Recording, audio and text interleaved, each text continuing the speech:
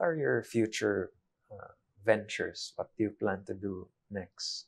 Um, I, we, I think we have a lot of challenges that we want to get done in East West Bank. So we've just uh, embarked on a five-year strategy.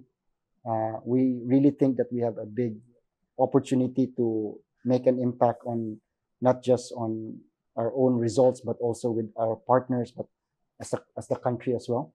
Uh, personally, I would like to be able to transition access to credit where there is access to credit to everyone, where I think credit scoring, credit bureau becomes the norm, where people are able to have access depending on how they behave and how they treat their uh, experiences, are able to access credit. Because I think a population of 26 year olds really need the opportunity and the chance.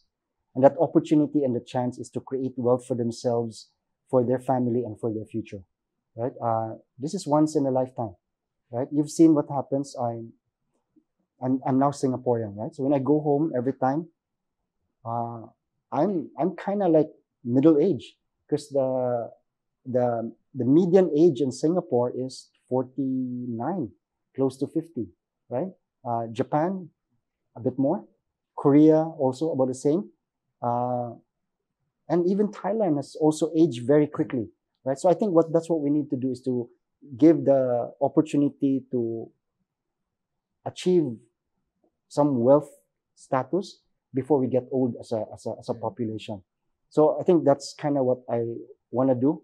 Uh, personally, I want to see my kids uh, established, right? Uh, so out of school, finish everything. Hopefully, they have their own families and so on. You know, simple things.